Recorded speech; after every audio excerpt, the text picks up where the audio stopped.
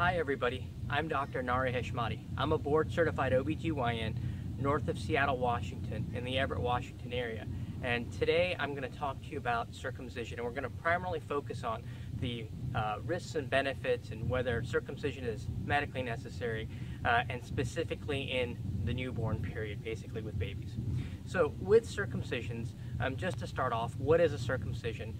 Um, well, you know, circumcision is where you take the foreskin, that outer covering from around the penis, and you remove it. Um, circumcision is very common. Uh, right now, if you were to take a look at males in the United States uh, between 14 and 59, about 80% of them are circumcised.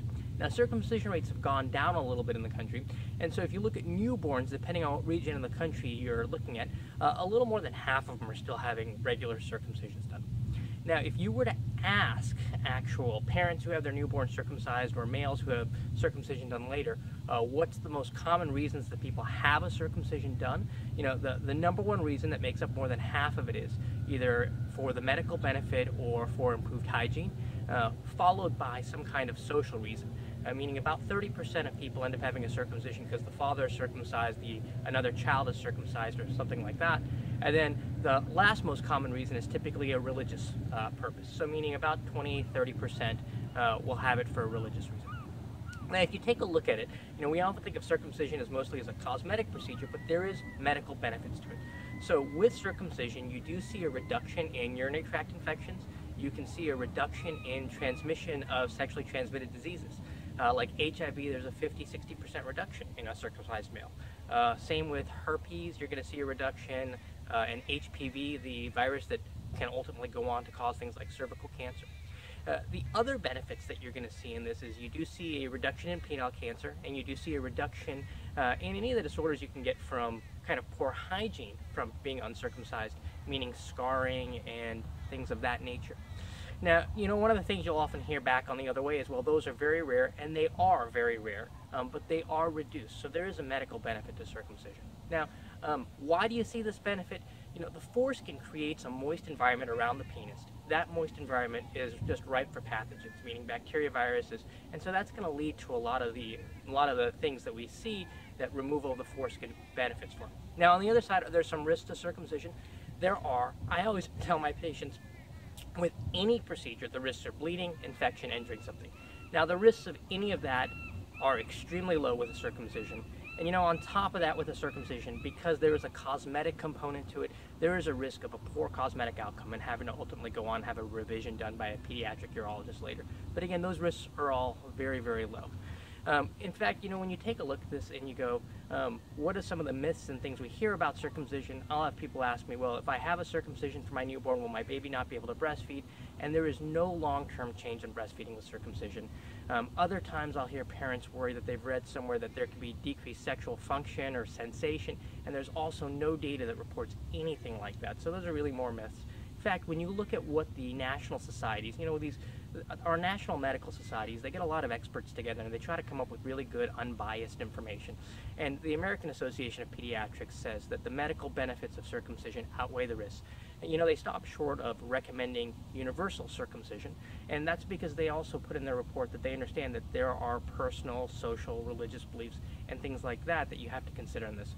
The American College of OBGYNs actually endorses that statement and then when you look at CDC, the Centers for Disease Control, their draft statement talks about how there's a 50-60% reduction in HIV transmission in circumcised males, uh, about a 30% reduction in herpes and HV, HPV.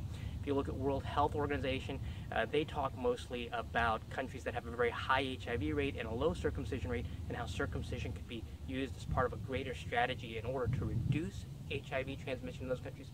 So, you know, a lot of the societies have really chimed in on, on benefit there. Now, as far as actual circumcision, uh, I'm just going to briefly touch over timing, who does it, how we do it, because there's probably a lot of videos out there that go into specific detail, but typically the majority of circumcisions are done in the first week or so of life. Um, you know, oftentimes if a baby's born on a Monday, we'll do the circumcision uh, on a Tuesday in the hospital. Um, who does circumcisions? You know, the OBGYNs in some communities do it. In some communities, it's going to be the pediatricians. Uh, a lot of family docs do circumcisions. And then urologists also do circumcision. So you're going to have variety there. And so you just want to talk to whoever your, your obstetrical provider is and who's going to be the pediatrician if you want a circumcision and find out who does it so they can set you up with somebody who does it. The actual procedure, there's three common ways it's done. There's the Gomco clamp, which is the way I typically prefer, which is a clamp we put on the foreskin and then we cut the foreskin off right there and it's just done. There's a Plastibell, which is a plastic bell that you put on the foreskin and that, that kind of falls off with the foreskin later that week. And then there's a Mogen, which is more of a straight cut technique. Really, the outcomes of them are all very similar. So a lot of that's going to be provider preference, where they trained, things like that. Um, you know, I kid around with uh, parents when I do newborn circumcisions. You know, you're welcome to watch, otherwise I could get bored because I'm sitting there and the baby's not talking to me. But, you know, parents often are concerned. They go, well, is this going to be really painful for the child and what? And, you know, every baby responds to this differently, but typically you are going to have very good pain control. We're going to use either lidocaine add an injection around the base of the penis or an Emla cream or something to numb the penis in addition to some comfort measures like a pacifier and sugar water and things like that. And babies tolerate this very well. Uh, typically when I've had parents watch me do a circumcision, they're really surprised from what they thought versus um, how kind of quick and easy the whole procedure is. So that's just some basic background on circumcision. Again, if you take a look at it, um, you know, it's thought of as a cosmetic procedure, but it really is of medical benefit. Now that medical benefit is not so lopsided that we go, oh my God, everyone has to have a circumcision.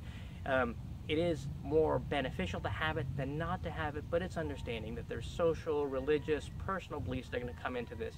And so that's something that you want to really factor in, and it's an individual choice for each person. But if it is something that you're interested in, I encourage you to talk to your uh, OB provider or to your pediatrician. Thank you.